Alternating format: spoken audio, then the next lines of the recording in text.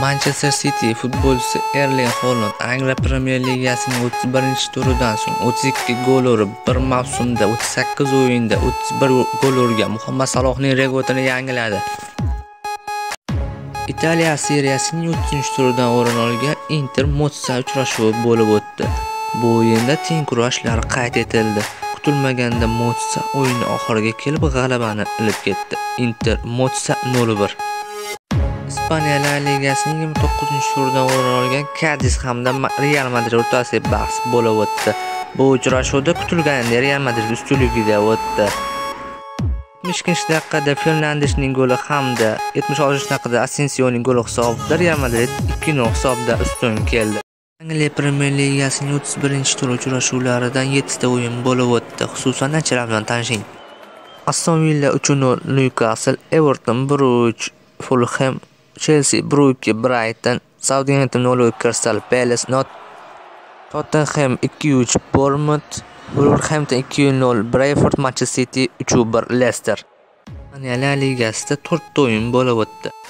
Villarreal Brugge Valladolid, Atletico Bilbao 2-0 Real Sociedad, Betis 3-1 Espanyol, Cadiz 0 Real Madrid. Italiya seriyasi Bologna 1-1 Milan, Neapol 0-0 Verona, Inter 0-1 Mozza.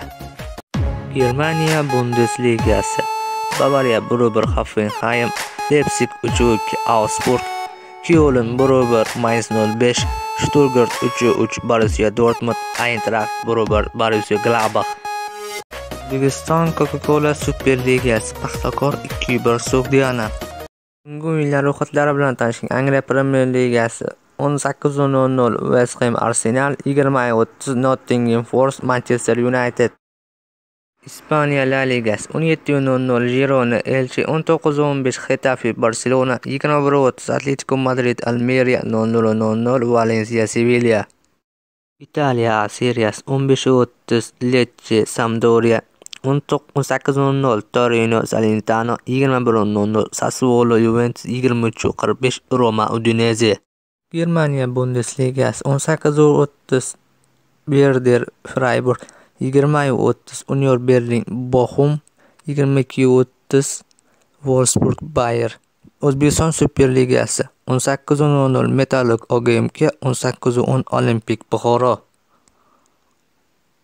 Kanalimiz yoqqan bo'lsa, podpiska hamda bitta layk bosib qo'ying.